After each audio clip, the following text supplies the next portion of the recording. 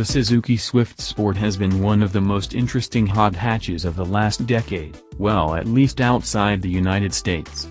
Its first iteration was released in 2005, leaving behind its crummy Geo Metro guise in favor of something more in line dynamically with the segment best.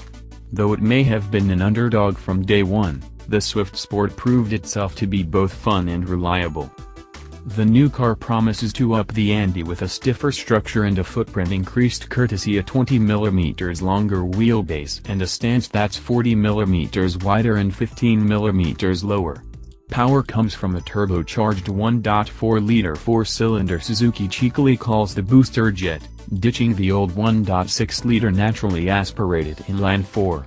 The downsized, intercooled 138 horsepower turbo engine gives the Swift Sport only 4 more horsepower than the old unit, but there is a lot more torque available and at lower revs.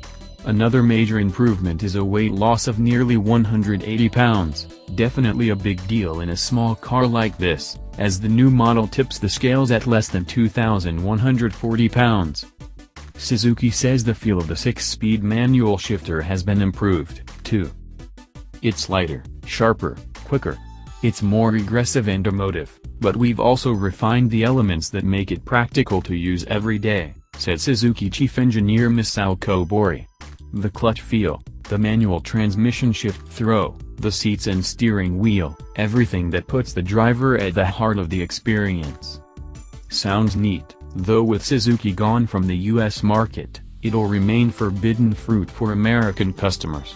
On the other hand, you can apparently rent these in Germany. Nürburgring rental anyone?